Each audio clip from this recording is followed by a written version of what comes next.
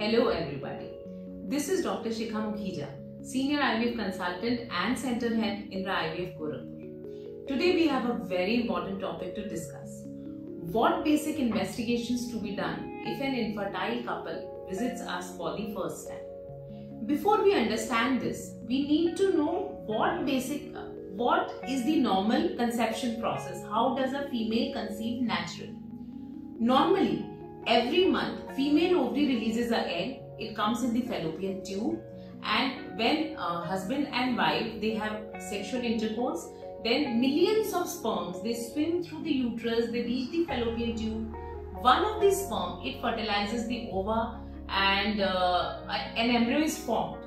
And uh, in uh, three to four days, this embryo this swims towards the uterus it implants there and there it stays and grows for 9 months and at the end of 9 months we have a baby so that is the natural conception process through our investigation we are trying to find faults in this process because if any of these steps in this whole, pro whole process is faulty then the female is not going to conceive so uh, first thing, uh, we I am primarily looking for five things. Primarily trying to find out these five things. First, what is the ovarian reserve of the patient? What is her fertility potential? How many eggs are remaining in her ovaries? Now, we know that as female ages, her eggs keep on decreasing with her age. Females are born with whatever eggs she is ever going to have have and they diminish over time.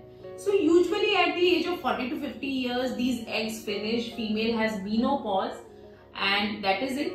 But uh, sometimes these eggs may finish earlier as early as in the 30s even in the 20s. So this is known as premature ovarian failure or POF.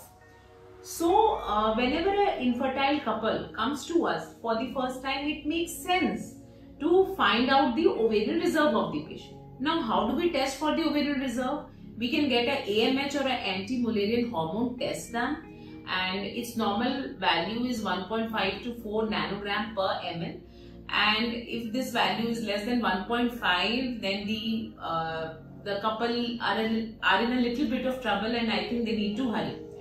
And the second way we can look for ovarian reserve is by doing an antral follicle count or AFC. What is AFC? Uh, this we look through TVS. We do TVS on second or third day of cycle.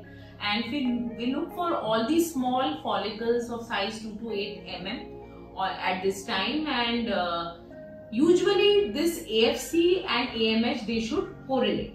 So uh, this is testing for ovarian reserve. Second thing Second, uh, we need to see whether the female is ovulating or not because uh, for her to become pregnant, uh, definitely a mature egg is required. So how do we test for this? We do a transvaginal sonography, we do a follicular monitoring through this and we see that the follicle is actually growing and at the end uh, egg is ovulating or not. So uh, this is one method. Second method we can also do, uh, there are LH predictor kits through this, we can also test whether the ovulation is taking place or not. Third thing uh, is the testing for the tubal patency, testing for the fallopian tube, whether they are open or not. Because if the tubes are blocked, there is no way that the female can conceive naturally.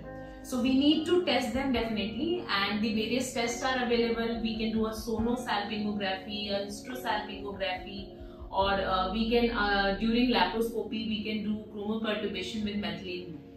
So this is testing for the fallopian tube. Fourth thing we need to look for the female's hormones. Uh, we need to do a thyroid we need to do prolactin. Also we need to do amh that i told you earlier.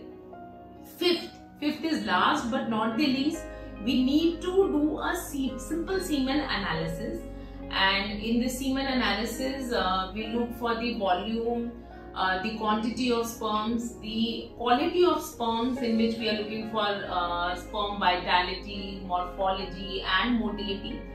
If the semen analysis report is normal then we do not need to do any further testing. If the report is abnormal for consecutively two times then uh, we may need to do further testing like a DFI or a D DNA fragmentation index or an ultrasound scrotum or a hormonal analysis.